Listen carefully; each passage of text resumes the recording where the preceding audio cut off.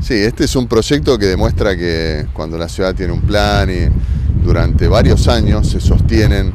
eh, esas eh, metas y esos objetivos, se consiguen resultados muy importantes.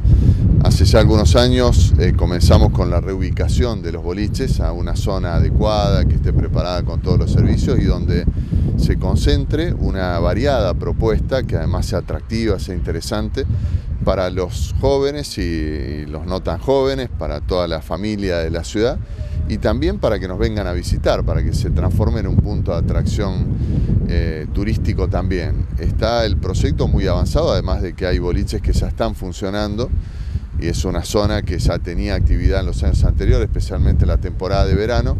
Ya estamos terminando con la repavimentación completa y ampliación de calzada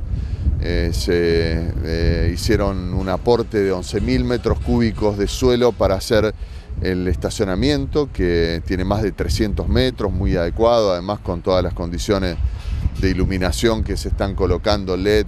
eh, para tener mucha seguridad, las áreas peatonales que también están muy avanzadas, prácticamente terminadas. Y lo más importante es que a este esfuerzo del gobierno hay un esfuerzo más significativo de los privados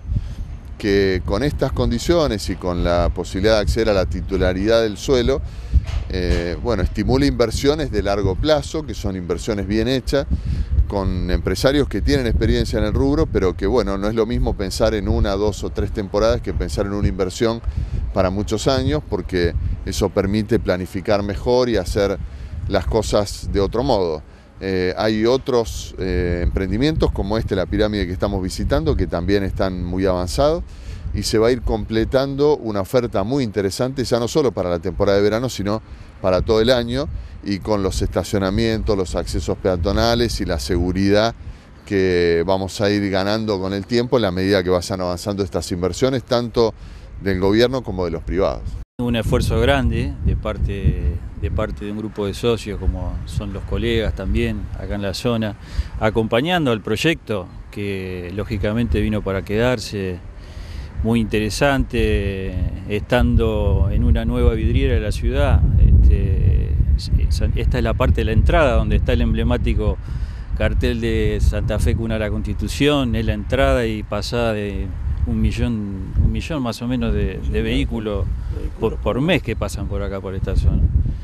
Y bueno, este, aportando acá con este proyecto para quedarnos, lógicamente, como decía José,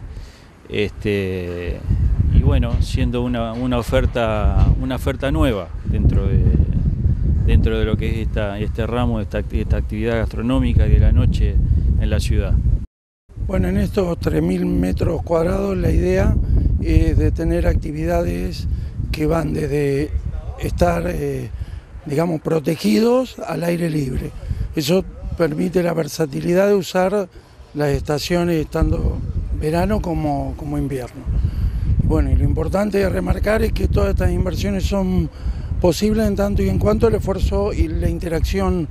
con el municipio, porque los proyectos gastronómicos están en un contexto que si el municipio no le da el marco no podemos funcionar. En este caso está sucediendo estacionamiento,